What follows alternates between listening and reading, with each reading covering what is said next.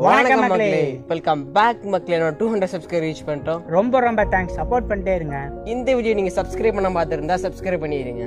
இன்னைக்கு நம்ம என்ன பார்க்க போறோம்னா போன வீடியோல சொல்லியிருந்த மாதிரியே தமிழ்நாட்டை பத்தி சொல்றதா இருந்துச்சு அதாவது உலகத்திலே தோன்ற முதல் மனிதனோட வம்சாவளி இன்னும் தமிழ்நாட்டில் இருக்கிறதா கண்டுபிடிச்சிருக்காங்க. இதை பத்தி தான் இந்த வீடியோவில் ஃபுல்லாக பார்க்க போறோம். ஓகே அங்க வம்சாவளி தொடர்ந்து வந்தா உலகத்துல எங்க இருப்பாங்க? எப்படி இருப்பாங்க? இந்த வீடியோ பார்க்குற எங்களை கூட இருக்கலாம்ல யாரா வேணா இருக்கலாம். இதை பற்றி தெளிவாகவும் விரிவாகவும் எங்கள் அண்ணன் சொல்லுவான்.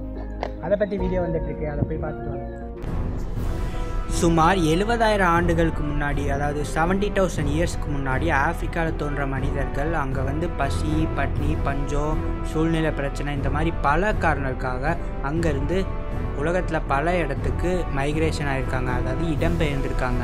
இப்படி தான் பல கிலோமீட்டர் நடந்தும் படகுலையும் உலகத்தில் இருக்க எல்லா இடத்துலையும் ரீச் ஆயிருக்காங்க. இப்படி தான் இந்தியாவுக்கும் வந்திருக்காங்க. இப்படி வந்த மனிதர்களோட ஜென்ரேஷன் அதாவது வம்சாவளி இன்னும் தமிழ்நாட்டில் இருக்காங்கன்ட்டு ரெண்டாயிரத்தி எட்டில் ப்ரூவ் பண்ணியிருக்காங்க. பொதுவாக இந்த மாதிரி விஷயத்துக்கு டிஎன்ஏ டெஸ்ட் அதாவது ஜீன் வச்சு தான் ப்ரூவ் பண்ணுவோம் ஸோ ஆஃப்ரிக்காவில் தோன்ற முதல் மனிதர்களோட அவங்களோட ஜீன்லாம் பார்த்தீங்கன்னா M one three zero gene தான். இந்த குரூப் தான் இருக்கிறதுலே பழைய குரூப்பான ஒரு ஜீன் இந்த ஜீன் இன்னும் தமிழ்நாட்டில் இருக்கிறதா ப்ரூவ் பண்ணியிருக்காங்க. தமிழ்நாட்டில் குறிப்பாக எங்கேன்னு சொல்லணும்னு பார்த்தீங்கன்னா மதுரை.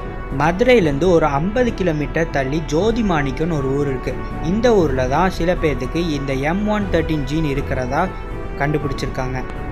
இந்த டிஎன்ஏ டெஸ்ட் யார் நடத்தினாங்கன்னு பார்த்தீங்கன்னா காமராஜ் இன்ஸ்டிடியூட்டை சேர்ந்த ப்ரொஃபஸர் ராமசாமி பிச்சை இவரோட தலைமையான டீம் தான் தமிழ்நாட்டில் பல இடங்களில் டெஸ்ட் எடுத்திருக்காங்க. குறிப்பாக ஜோதி மாணிக்க ஊரில் மட்டும் நிறையா டெஸ்ட் எடுத்ததில் பதிமூணு பேர்த்துக்கு இந்த எம் ஒன் தேர்ட்டின்கிற ஜீன் இருக்கிறதா கண்டுபிடிச்சிருக்காங்க.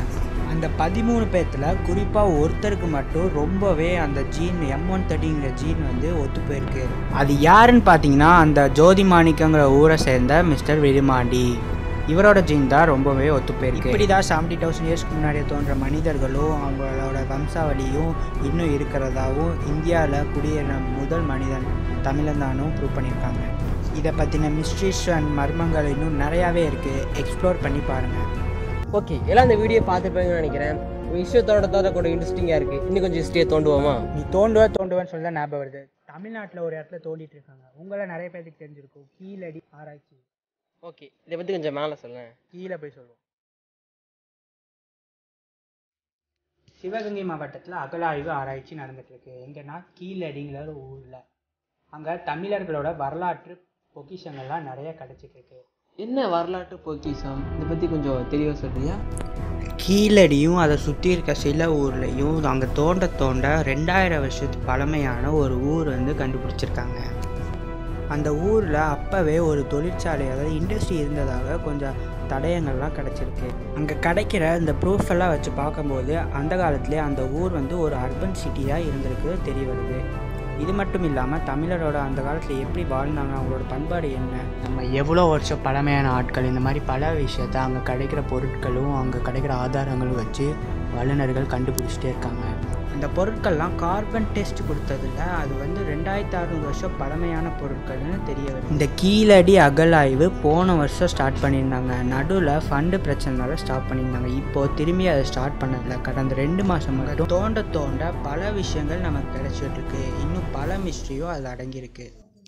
ஓகே இதை பற்றி கொஞ்சம் லேட்டஸ்ட்டாக சொல்ல முடியுமா? அங்கே இப்போ ஆறாம் கட்ட ஆராய்ச்சி நடந்துட்டு இருக்கு அங்கே ரீசெண்டாக ரெண்டு குழந்தையோட எலும்புக்கூடு கண்டுபிடிச்சிருக்காங்க. எந்த மாதிரி குழந்தையோட எலும்பு கூட கொஞ்சம் சொல்ல முடியுமா? அதோட குழந்தையோட ஹைட் மட்டும் பார்த்தீங்கன்னா தொண்ணூறு சென்டிமீட்டர் தான் இருக்கும். ஆனால் அதோட மண்டை மட்டும் சாதாரண குழந்தைய விட ரொம்ப பெருசாக இருக்கிறதா சொல்லிடுறாங்க. ஓகே அந்த இடத்துல நிறைய மர்மங்களும் நிறைய விஷயங்களும் புதஞ்சிருக்கு. இதை பற்றி நீ எக்ஸ்ப்ளோர் பண்ணி பாருங்க. இந்த வீடியோ கண்டிப்பாக உங்களுக்கு பிடிச்சிருக்கும். ஸோ லைக் பண்ணுங்க பண்ணுங்க ஷேர் பண்ணுங்க சப்ஸ்கிரைப் பண்ணுங்க. அடுத்த வீடியோ சந்திக்க வரைக்கும் டாடா பாய் பாய்